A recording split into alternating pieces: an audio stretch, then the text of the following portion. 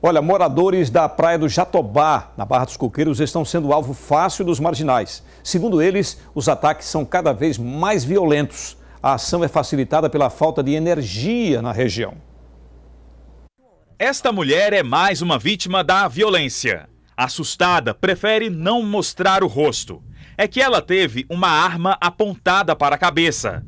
Viveu momentos de pânico nas mãos de assaltantes e está traumatizada. Foi que no momento que eu fui desligar o gerador, que aqui não tem energia, um deles, foram cinco, certo? Seis com o mandante que estava dentro do carro. Aí eles chegaram, tudo capuzado, foi tomando logo meu celular, botando a arma na minha cabeça, certo?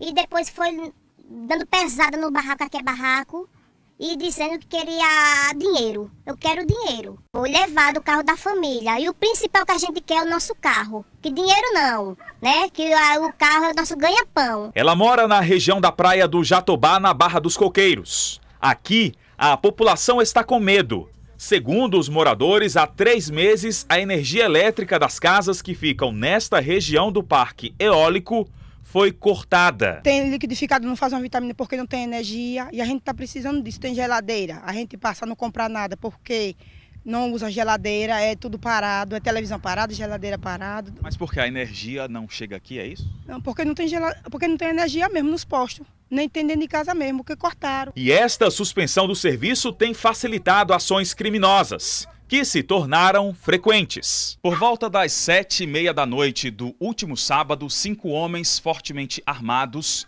invadiram esta casa. E aqui tocaram um verdadeiro terror. Os bandidos levaram relógios, celulares, notebooks, televisões e também o lucro do comerciante que foi assaltado, 5 mil reais. Além disso, a vítima foi espancada violentamente. Seu Marcos está com vários ferimentos pelo corpo. Violento demais, demais, demais, demais da conta.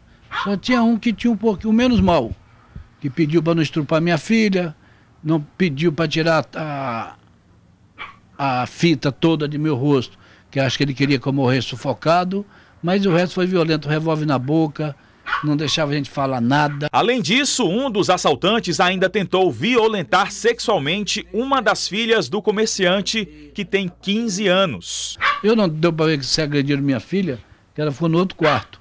E sorte que meu menino de 10 anos não estava em casa. Quem estava na cavalgada era menos mal, se ele estivesse em casa era pior. Nós entramos em contato com a assessoria de comunicação da Energisa, que informou que vai verificar a situação.